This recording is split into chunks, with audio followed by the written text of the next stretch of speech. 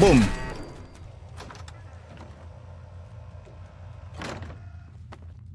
Good morning. vault calling.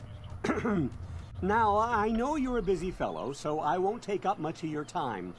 I'm here today to tell you that because of your family service to our country, you have been pre-selected for total atomic annihilation.